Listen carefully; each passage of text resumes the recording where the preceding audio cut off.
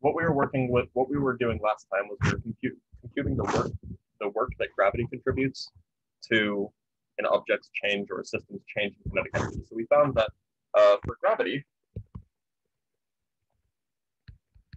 the work contribution from say one position A to another position B. I should put total, I should put gravity. Was equal to minus mg delta y, where delta y is the change in height. Uh, this delta y is yb minus ya. So one thing that I'd like to tell you about, and I, I left you on a cliffhanger last weekend or last week, was that the, the point that, that I'd like to point out is that the work done by gravity doesn't actually care about the path that you take to get from point A to point B. The example that I gave involved a loop-de-loop, right? Um, but it didn't matter that it took a loop-de-loop. It, all that mattered was its initial height, YA, and its final height, YB. So um, in this case, gravity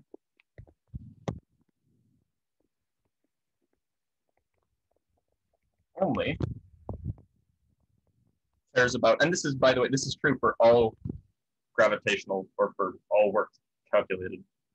Sorry, that is true for all work done by gravity. Only cares about the initial and final positions.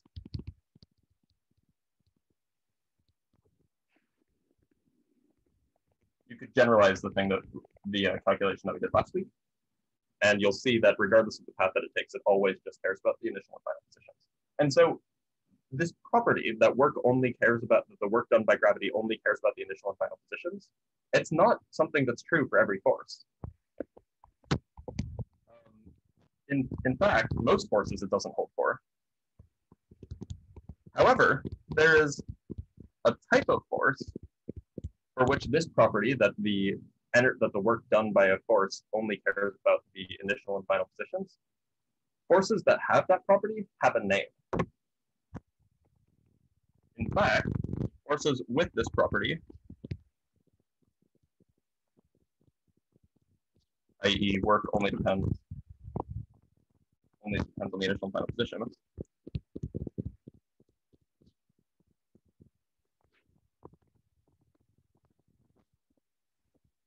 property we're talking about here. Forces that have that property are called conservative forces.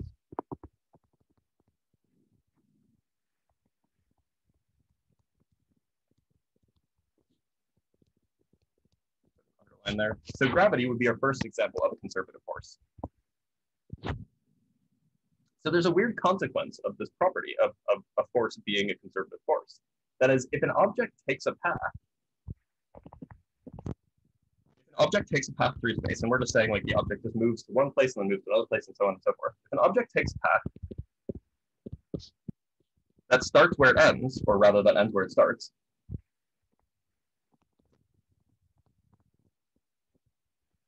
if the audio is bad, I can call in. Uh, let me let me call in really quick. Um,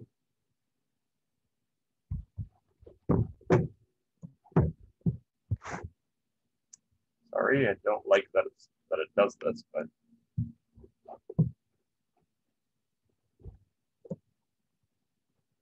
uh,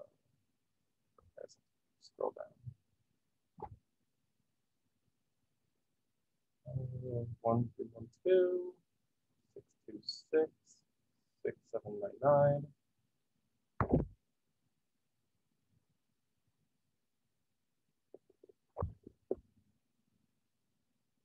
nine six three nine one nine seven five nine six zero.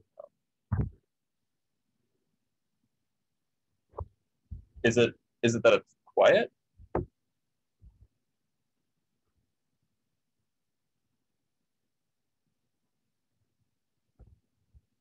Let me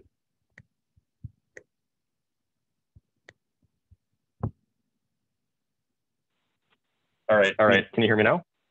Testing, testing, testing. All right. All right. Um, Um, I'm I'm gonna put myself on. so that so that why can I hear myself myself? This is weird. this is weird. Um, Um, oh, oh, there we go. better. Uh, can you, is, is it all right now? Okay, let, let's proceed. Right, so if an object takes a path that it ends or that ends where it starts, then regardless of the path taken, a conservative force does no work. So let's think about that for a moment.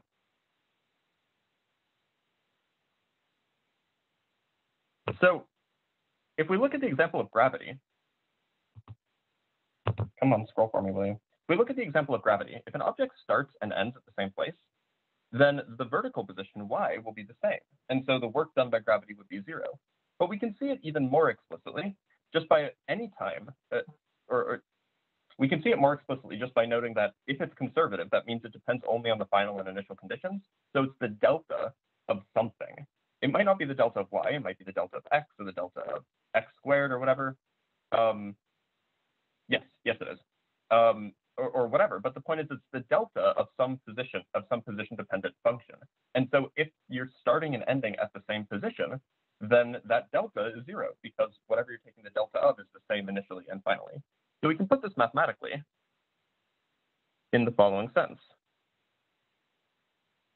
We have that the work done, roll please.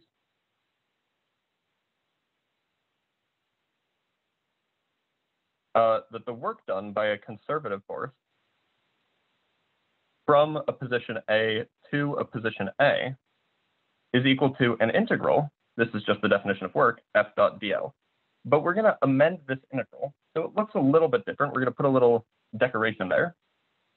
And we say that this is equal to zero, and that's for the reason that I just described. If a conservative force starts and ends at the same place, A and A, then we say that it's, or th then it doesn't do work. Now, what this symbol represents is it means that the, that the integral is over a closed path,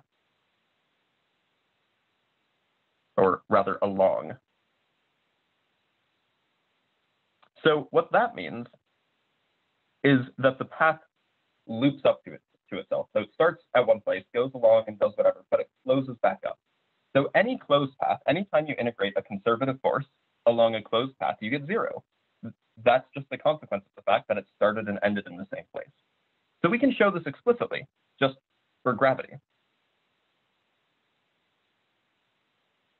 Let's do an explicit example of gravity doing this.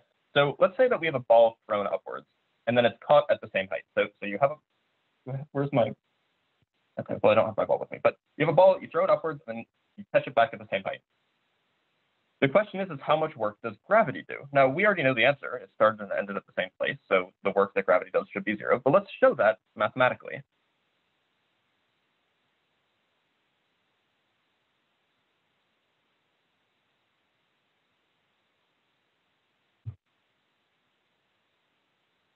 So the work done by gravity, say from the hand to the hand, can be broken up into two segments. The work done by gravity from the hand up into the air, and then the work done by gravity from, the, from up in the air back down to the hand. So this can be written as a sum. Notice that you can always break up an integral into its constituent, par constituent parts. So this can be written as the work done by gravity from the hand to the air. And this is to its maximum height in the air, say, plus the work done by gravity from its maximum height in the air to the hand. So now we can just compute. So the work done by gravity, say from the height of the hand to the height of the maximum to the maximum height in the air, gravity points downwards with, and the force can be written as minus mg in the j hat direction, um, j assuming to be up. And then the path is just straight up, dy j hat. And then the same integral for the, uh, or the similar integral for the path going from the air to the hand would look like this. We have an integral from the height of the air to an integral from the height of the hand. And then we have the same force minus mgj and the same path length. Now, we have to be careful here. Um, there is a subtlety to what's going on here. I'm choosing to parameterize the, uh, the integral pointing upwards, and then we're integrating the bounds going downwards. We could have parameterized the path going downwards and then we would have just had um, a path length that is positive at the top or, or that is zero at the top and then goes and then increases as we go down. It's a choice, but I could have done I could have gone either way. And I can be more explicit about that at the end of a lecture if you if you guys want. And so we can evaluate. Oh, roll please. This is minus mg. We can pull out the mg, and then we can just integrate dy. That is integrating dy from the height of the hand to the height of the air. We'll call that delta y. And then we integrate, again, we have minus mg. But now, now the uh, the order, the bounds of the integral are flipped. So we have y, or so we have a large number, y air, that is subtracted from a small number, y hand. So this would give us a minus delta y. And so we can find that this indeed just does give you zero. Um, and again, I can spend more time on this later if you want to, if, if you guys want to stick around and watch, but it, it is, it, this is correct and it does take a little bit of justification. Um, but that's the basic gist of it. We can just check explicitly that the work done uh, around a closed path, in this case goes up and then back down, is zero, the work done by gravity. Now there are other elastic forces, sorry, other conservative forces, and another one that we're going to see a lot is the elastic force. So let's talk about why the elastic force is conservative. So just as a quick aside, remember Hooke's law. So Hooke's law was a statement about the force due to the, or about the elastic force really, and it was a statement that the elastic force was equal to negative k, which is the spring constant, times delta x vector, where delta x vector is the vector that points from equilibrium to the or to the place where the object currently is. So it, it's a displacement vector from the equilibrium position. So let's compute the work done by a spring on a block as the spring is compressed. Work done by a spring on a block. Let's compute this just to check what it would give us.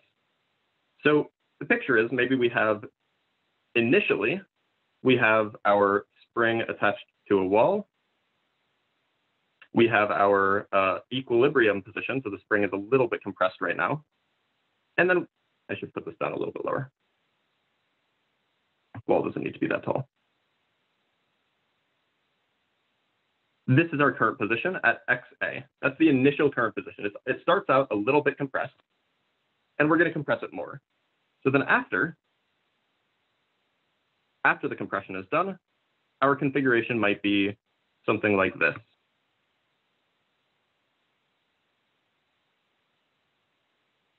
Box is here. Our position now is at XB, right? So it's, it, we, we've compressed it just a little bit. And the way we did that was by pushing on it. But, but it doesn't really matter where that external force comes from. We're just going to try to compute the work done by the spring. So the work done by the spring can be, can be computed by using the path integral, or the line integral rather. From A to B, it would be an integral from A to B of the force from the spring on the block dot dl. Now dl, the object is moving to the right, so dl can just be viewed as dx i hat. The force on the block from the spring should just be, well, if the position is xa, then delta x on the left would just be xa minus 0, and delta, delta x on the right would just be xb minus 0. So put another way, the delta x in this coordinate system is just the variable x, just the coordinate, it's just the coordinate position x where x equals 0 at the equilibrium position. So that becomes, uh, from Hooke's law, that becomes minus kx i hat. The dl, the path, it goes to the right. So the path is dx i hat. And so now we can do some simplification. This becomes an integral of minus k integral from xa to xb. Really, um, the i hat dot into itself is 1, and we're left with just x dx. So we can do this integral now. This is just an integral from xa to xb of some polynomial, right? So what we end up with is we end up with minus 1 half k xb squared uh, minus 1 half k xa squared. Or put another way, why is it minus x? Because that's what Hooke's law is. Hooke's law, it's to imply that the force is to the right if delta x is to the left. That is, put another way, this is minus 1 half k delta of x squared, which is to say that you take the distance from equilibrium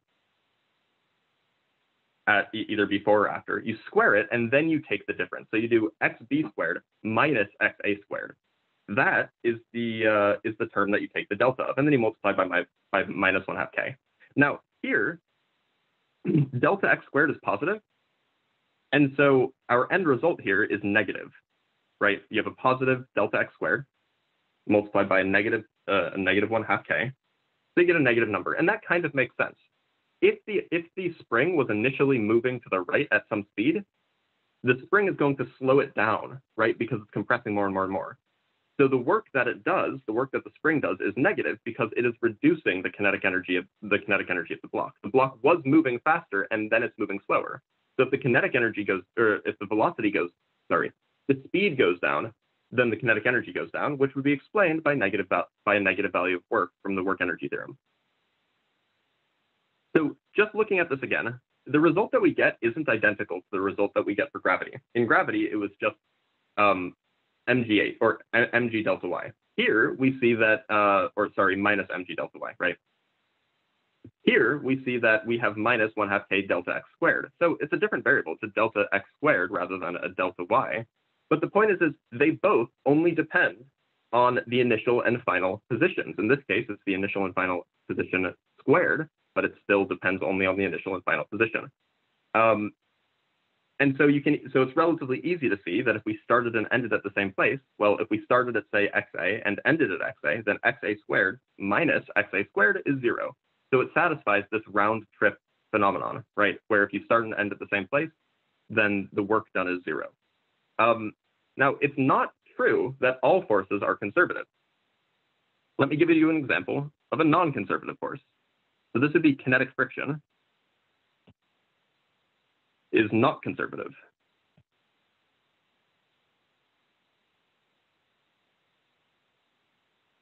So let's see why that is. So let's assume that we have a block. Uh, let's assume that we have a block slides back back and forth on a rough surface. So Remember, we're just computing the work done by the by the singular force of kinetic, kinetic friction, not not like all of the other external forces that could be applied. Yeah, Walter Lewin's excellent, by the way.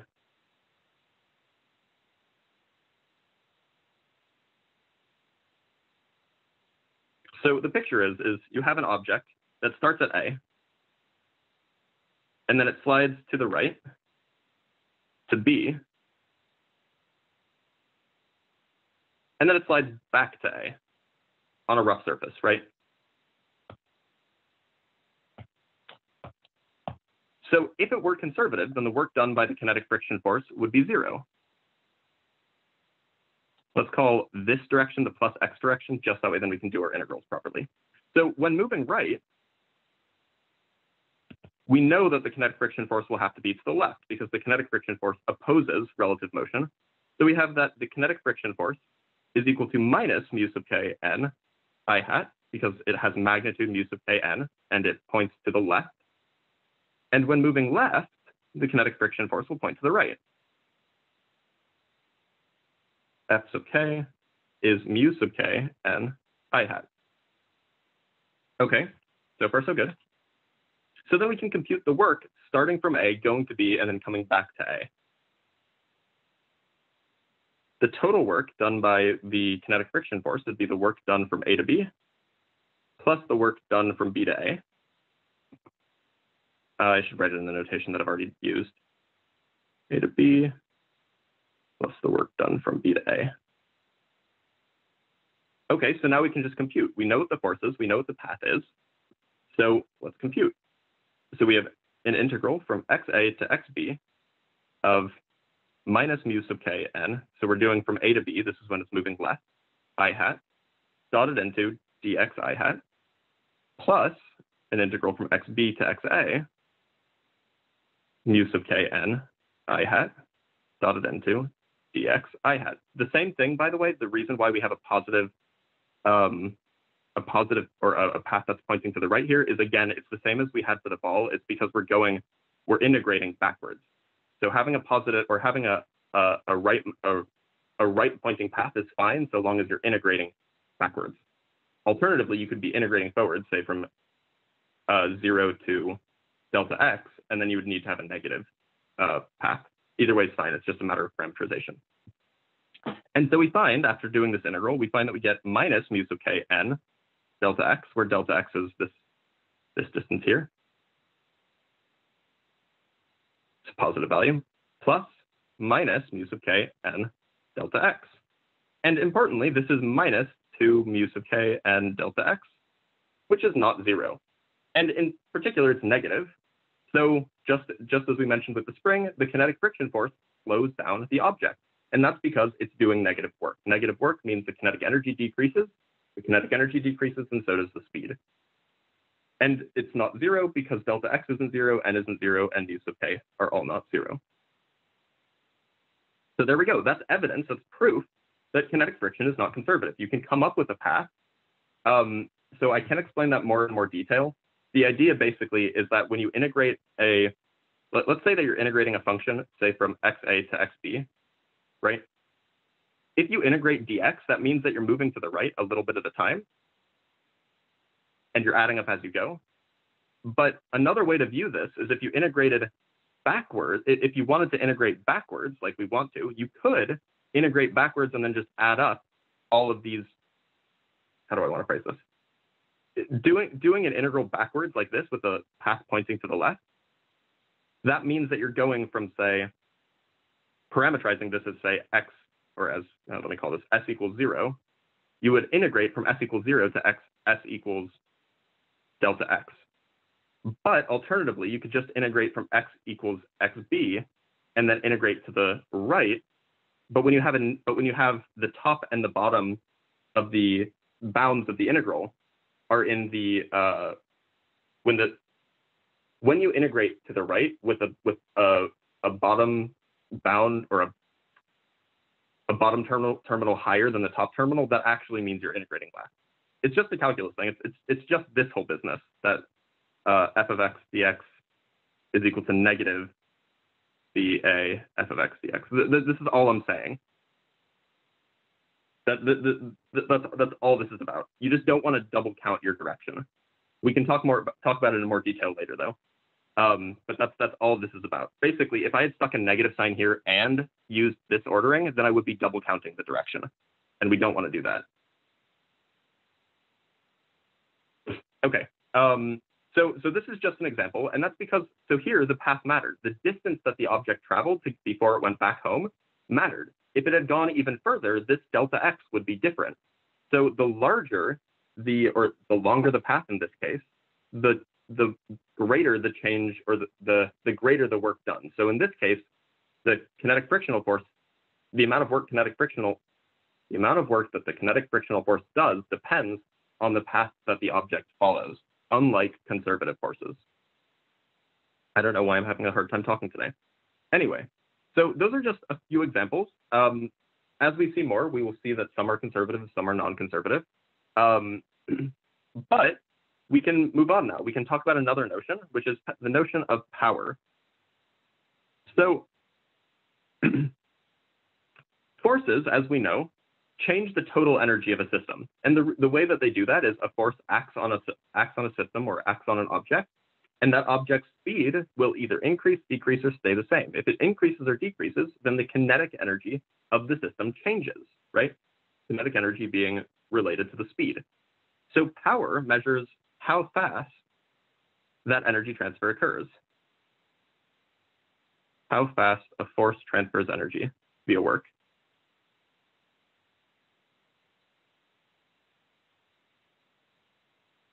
So we say how fast, that matters, right? Because you could, for example, um, let's say you're in a car, right? You slam your foot down on the pedal, your speed is going to go from zero to not zero, quickly. But the amount of work done doesn't care about how quickly you accelerated. The, the amount of work only depends on what your final speed was and what your initial speed was. so, but but the amount of work, so the amount of work would be the same as if you just very slowly accelerated, right? Because your final initial speed would be the same. The amount of work done if you slowly accelerate as opposed to very quickly accelerate is the same. But the rate at which that work changed the uh, like the, the time rate of change at which the work changed the kinetic energy of the car, that is different in the two cases. And so power encapsulates that notion. So formally,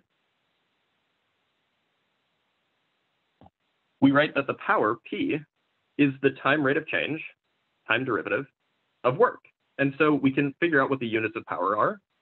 The units would be the units of, of work, which is joules, divided by the units of time, which is seconds. And this gets another special name. It gets the name of the watt, W-A-T-T, abbreviated as a capital W, which is confusing because W also stands for work. But, you know, and I think James Watt lived in like the 1800s, like most of these guys did. So just like work, we can isolate the power delivered by single forces, right? We can, in a car, for example, there's going to be frictional forces, but there's also going to be forces coming from the internal combustion engine and so on. So we could compute, for example, just the power delivered by the internal combustion engine, just by figuring out the rate of, or the, uh, the time derivative of the work contributed by that particular source. So for example, uh, actually, is there, yeah, so, so, so, yeah, actually, I'll, I'll just leave it there.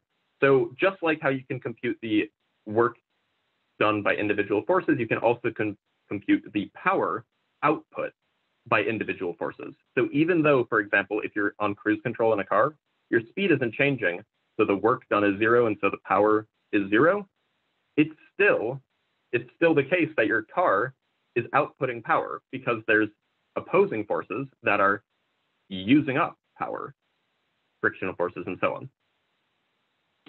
So there's a shortcut for computing power that I want to go over just so you guys can see it. Scroll, please. It's like I have to ask it nicely. So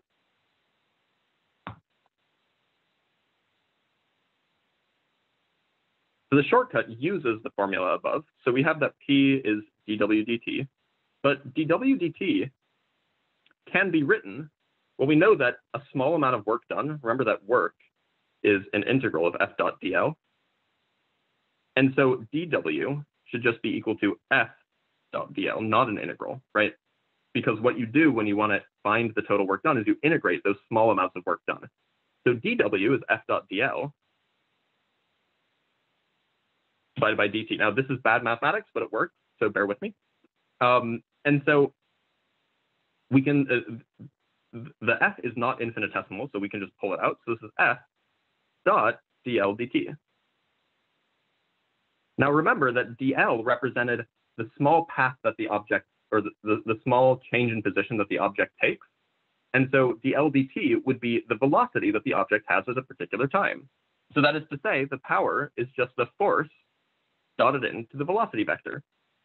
Now, this is so so to summarize or to write it out and put a box around it, this is just a true relationship relating power and uh, force and velocity. Now, just so you know, when you're computing this, these have to be evaluated at the same time. The speed might be changing, or the velocity might be changing, the force might be changing.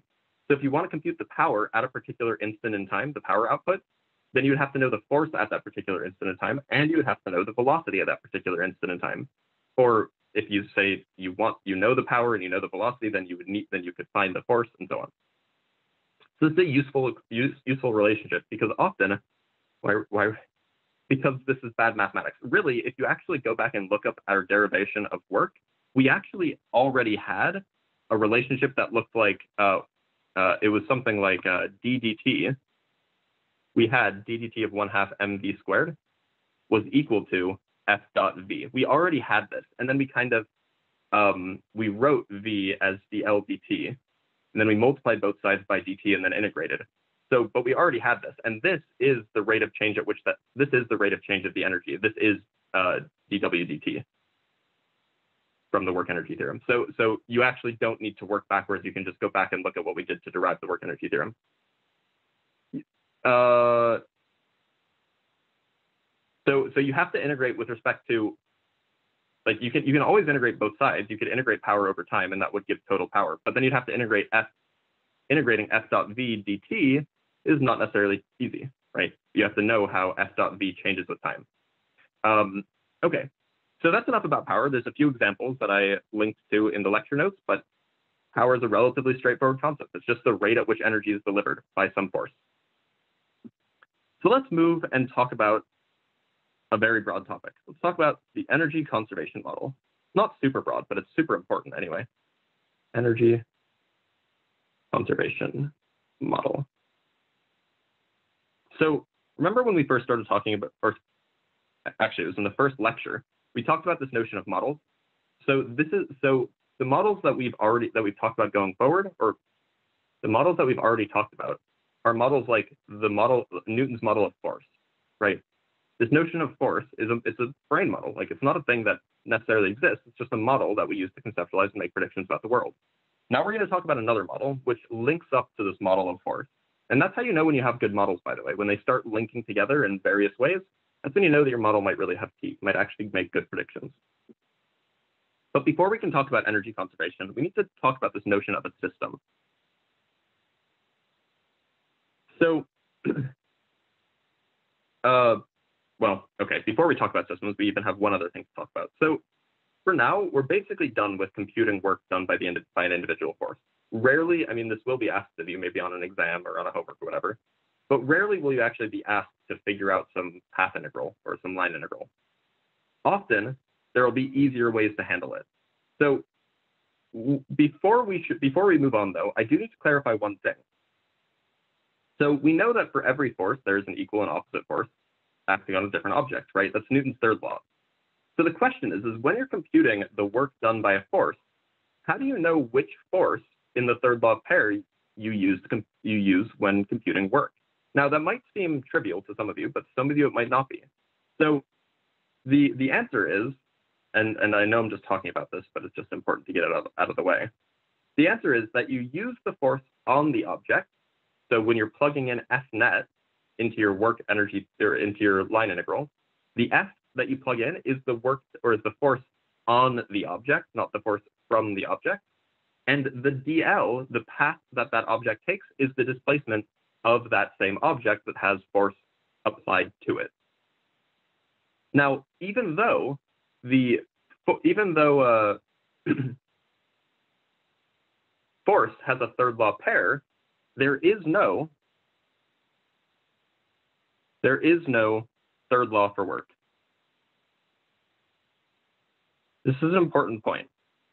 So just because one object does some amount of work on a different object does not mean that the second object does the same amount of work in the opposite direction on the first object.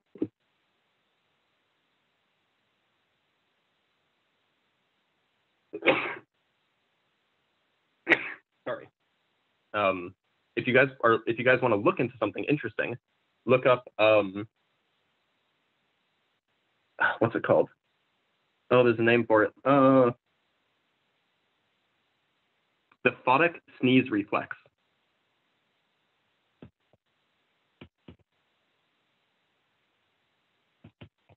It's interesting. Um, it's a genetic anomaly that about a third of the population has. Basically, and it's why I looked up and looked around. Basically, it's people with this genetic mutation um, sneeze more often when they look at bright things. So if you feel like a sneeze is coming, then you can look around, find something bright to look at, and it'll force the sneeze out. Very interesting. And whenever I walk out of a dark movie theater, I sneeze. So the more you know. Anyway, um, like I said, something like a third of the population has it. Funny story. Um, right. So there's no third law for work. And a way to see this, a relatively easy way to see this, is that a uh, the Earth does gravitational work on an apple when the apple's falling, right? So yes, it's, uh, no, it's not because work is a scalar, although kind of. So so when so when the apple falls, it has some force on it, mg, and it falls some distance. Now, that same force from Newton's third law is also acting on the Earth in the opposite direction. So the as the apple's falling down, the Earth or the apple is pulling the Earth up a little bit. So while the forces are the same, the distance traveled are, is not. So the apple falls, you know, really far whereas the Earth barely moves at all because the Earth has huge mass. So the work done by the apple on the earth is much, much, much smaller than the work done or on the apple by the earth. So, so, so there just is no third law pair for, for work. It's just not a thing. So to keep this notion of which objects have which forces and how you compute the work done on different objects that are clumped together, we're going to introduce this notion of the system. I might sneeze again soon.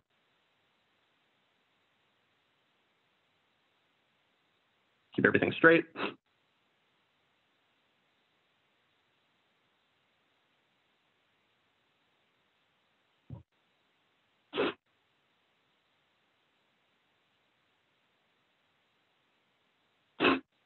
So a system is a group or collection of at least one object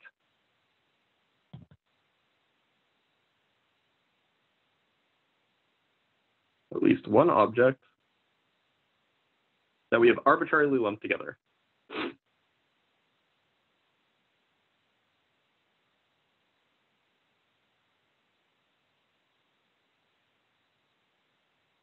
So a system is an arbitrary choice what if we drop like 10 million apples at once? Will it affect the Earth? No, the Earth is really, really big, like so mind-bogglingly big. Like it, it, it wouldn't happen. Like 10 million apples is is peanuts to the Earth, right? Um, right. So so a system is just it's just an arbitrary, invisible box that we've drawn around a collection of things. That's all. There is no answer for what the system is defined to be because it's however you choose to be, choose it to be. It's just a mental tool that helps us keep things straight. So the, an important point is that the grouping that we make should be isolated from other things. For example, um, didn't XKCD answer that question? Anyway, um, for example, me as a collection of organs, and you know, I have skin and I have stuff inside my skin and meat inside my skin sac and bones that are armor made of. Anyway, humans are weird. Humans are a uh, a meat driving a bone or a, a sack of meat driving a bone mech. Very strange if you think about it too hard. Anyway, but me, I'm a collection of objects, right? I'm a collection of a brain and a skull and skin and a stomach and intestines and kidneys and so on. Um, but that is a collection of organs that we call the system that is sound and I'm isolated from the earth. Like I'm I'm on the earth, and I am, but I, I can be isolated from the earth. Um, so we can just call me a system, and that system would be separate from the earth, and so the earth could act as an external force and apply it to me. But importantly, two things in the same system, or a, a system cannot apply a force to itself. A system can apply forces to other parts of the system, but the net force on the system won't or uh, would be would still be zero. This is why if you're floating around in space, you can't just like push yourself because you are a system and you can't apply a net force to yourself. So, the, but an important point is that forces, external forces, external forces can act on the grouping as a whole.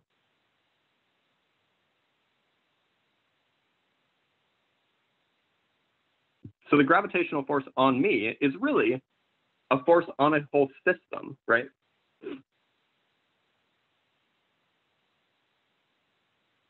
It's the gravitational force on my liver, plus the gravitational force on my skull, and so on. But we can combine those to be the gravitational force on the whole system and just call it the gravitational force of the or on the system. So, but what we can do is we can actually distinguish from a sensible perspective, like we can we can draw a dividing line between works that are done that are or works done by forces internal to the system. So for example, God, my nose is so itchy, I'm gonna sneeze. Um, so for example, if I'm pushing back and forth, this is a work. I'm, I'm applying a work to my hand, right? Like this hand is applying a work to this hand. But that's a work internal to the system.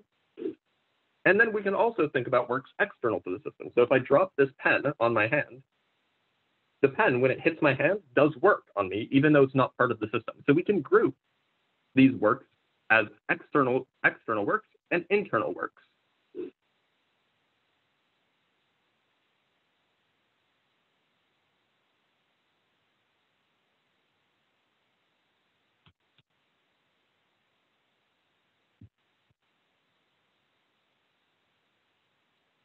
So the way that we might do that is we would write that the total work done on the system, we would write it as, you know, W1 plus W2 plus dot, dot, dot, where these are internal works. So this square root, oh, okay, plus the work done by internal forces.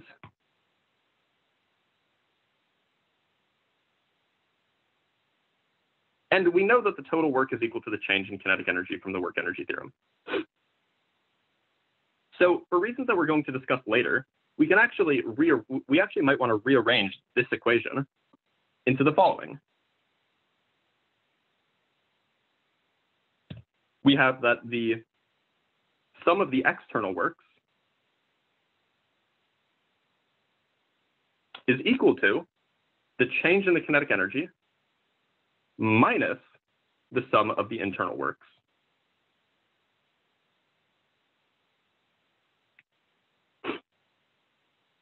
No, so W, so so these subscripts apply to each of these.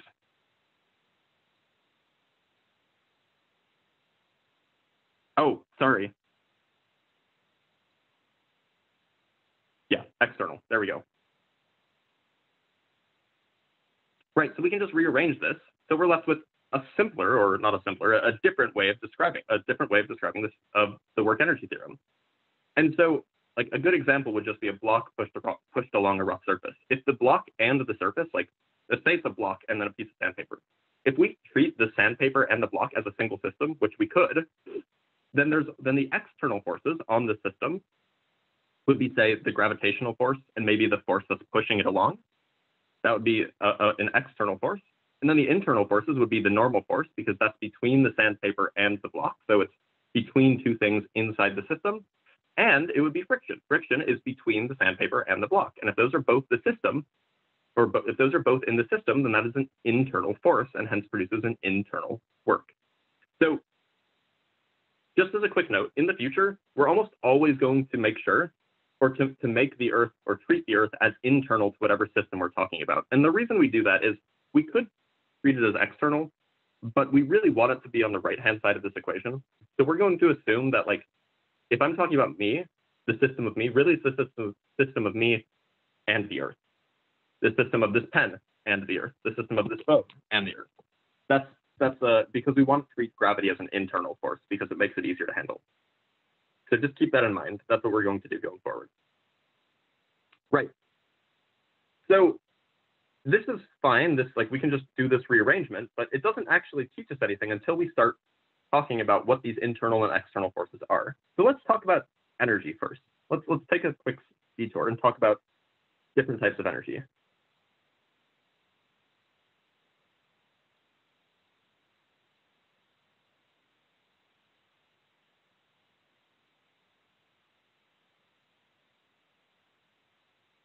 So as you guys may have already guessed, we have kinetic energy. Yeah, if we had treated the, the block and the sandpaper and the earth as all part of the system, then yeah, gravity would be would be an internal force. Right, so we've already established that kinetic energy is a thing called energy. It's a type of thing called energy. And so you might say, are there other types of energy?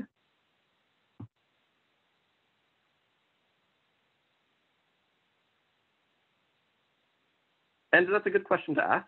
We wouldn't have given it a special name or a descriptor of some other thing, energy. Um, we wouldn't have called it kinetic energy. We would have just called it something, something else separate, if there wasn't other types of energy, right? And so, in fact, um, the other types of energies can be defined by work done by internal forces. So the reason why we separate this, by the way, is because kinetic energy is a thing that a system has. So if there's work done by an internal force, then that's a property about the system. It's not something that the system does to other things, it's a property about the system. So we could treat those works, even though they come from separate parts of the system interacting, we can treat those works as if they are properties of the system, just like how kinetic energy is a property of the system. This is, this is contrasted with force never being a property of the system. Force is a property of or is force is a an interaction between two separate systems. So let me just summarize this idea really quick. So work done on a system by external forces changes the energy contained in the system. Work done by energy, uh, sorry, work done by external forces on a system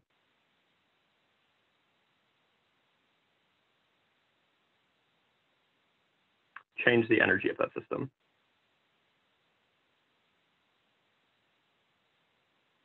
And the reason we're, get, we're the reason we can say that is because we're saying that all of the internal works, those are actually not, we're not going to treat those as work. We're going to treat those as energies of the, of the system.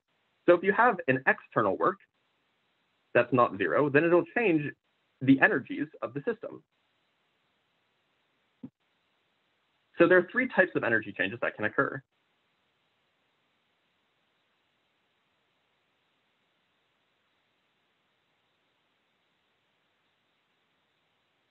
Let me outline those really quick.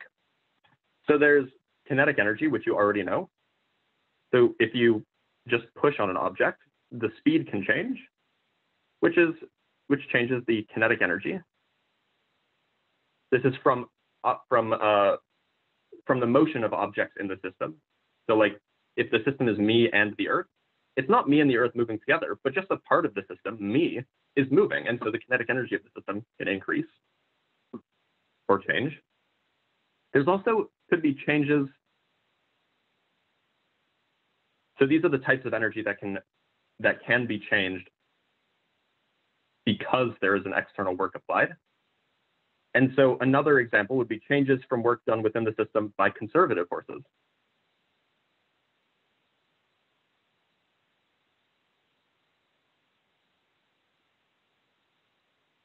So the example here would be you have the system of me plus the earth, right? So let's say that, uh, or no, let, let's let's say it's let's say it's uh, the phone plus the earth, right? So I'm not part of the system. It's just the phone and the earth is the system. So if I apply an external work or an external force here to lift it up, the that that that extra energy that I'm adding to the system by doing work on the system, that's coming because there is a conservative work inside the system that's doing that work. In this case, it's the gravitational force. So the gravitational work is increasing, or rather, technically it's decreasing, but but that's a negative sign that, we'll, that we won't worry about yet. Um, and then the third type is changes from work done by non-conservative work.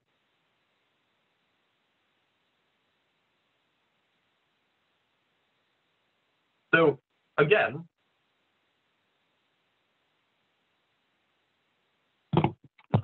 if I'm pushing this along my hand, the phone being the system, then there's a non-conservative force acting on it in this direction of friction, right? Or and so I'm applying I'm applying an external work actually consider my hand and my this, this hand and my phone to be the system, then applying an external work should increase the kinetic energy, except it can't because there's an internal non-conservative force, which is instead taking up that energy, or non-conservative work that's taking up that energy. In this case, that would be energy associated with friction. And so what we can do, or the way that we might write this, is we would write that we have work one plus work two, these are all external. This is equal to a change in kinetic energy minus work one plus work two of conservative forces. These are internal to the system. I'm going to run out of space. Move this over as far as I can. Plus work that should be minus again. Minus work one plus work two plus dot dot dot. These are non-conservative. So these are internal work. These are external work.